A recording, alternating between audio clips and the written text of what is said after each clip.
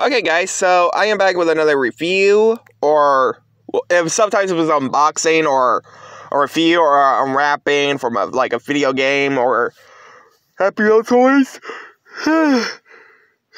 so yeah, we got this. I got this thing called Squish Mallows, or whatever it's called, and yes, it's made by Toy Kelly, a Jazzwares company. Which, if y'all know, that's actually like another company from Jazzwares that is from the people that does the AEW figures and uh, the uh, Pokemon plushies and all that. So here's a tag, which I'm about to take it off of in a second. And so, so you guys what that looks like without the tag on.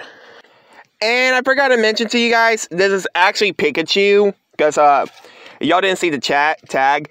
They're actually doing crossovers with uh, Pokemon, uh, Sonic the Hedgehog. Can't wait to see which ones they will do next.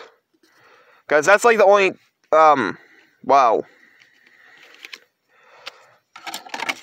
Crossover they're doing from uh, Squishmallows. But anyway, guys, hope you guys like, comment, subscribe.